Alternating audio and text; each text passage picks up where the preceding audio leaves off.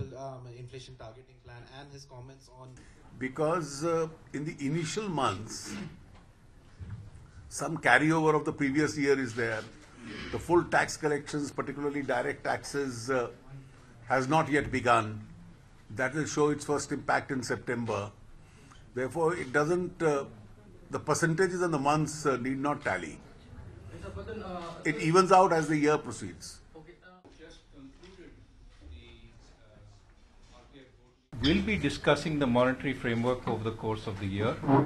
Uh, Just now, uh, we've started the uh, preliminary discussion, but uh, I think it will be discussed over the course of the year, and the framework will be developed along with the uh, Finance Ministry.